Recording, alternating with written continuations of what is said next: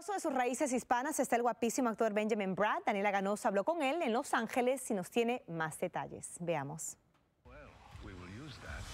Lo vemos cada semana en una serie en inglés y ahora regresa a la pantalla grande en la cinta Snitch. Pero la trayectoria de Benjamin Brad es tan larga como variada. Ha participado en decenas de películas y series televisivas desde que protagonizó la cinta que lo lanzó a la fama en 1993. Vatos Locos Forever. Pues siempre que no. Los vatos locos de, de sang- Sin sangre por sangre.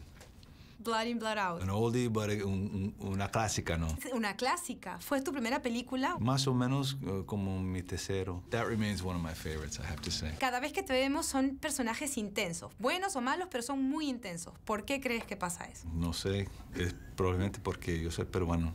No. Él no sabe que yo soy peruana también. También, ah, ¿Sí?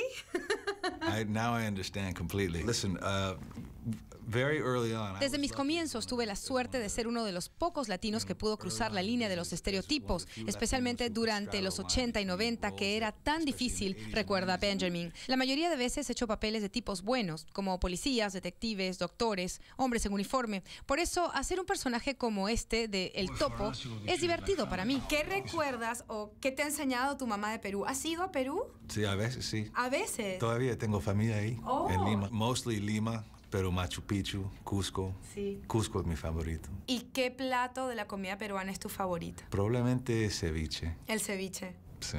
¿Qué te cocina? Es obvio, yo sé, pero ¿La música peruana te gusta alguna? ujú, a Susana Vaca, Oh, canciones de. Susana Sí, Vaca, claro, sí, claro. sí. Como ven, a pesar de que nació y fue criado toda su vida en suelo americano, y a diferencia de muchos famosos en Hollywood, Benjamin mantiene el vínculo con sus raíces y se siente muy orgulloso. Growing up as a child in Crecí en San Francisco, de padre americano, así que mi único lazo a esa patria lejana eran las historias que mi madre nos contaba. Ella se acuerda de muchas cosas de cuando era niña, de estar en el campo o corriendo por la playa. Para ella son recuerdos muy dulces y aunque no son mis recuerdos, mis sentimientos hacia Perú son también muy dulces y muy conectados a la familia y a la cultura. Estoy muy orgulloso de esa parte de mi vida.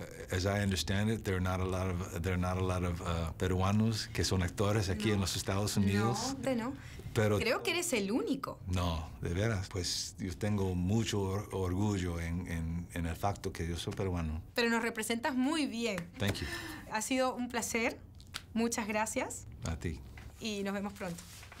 gracias. Un talentoso compatriota.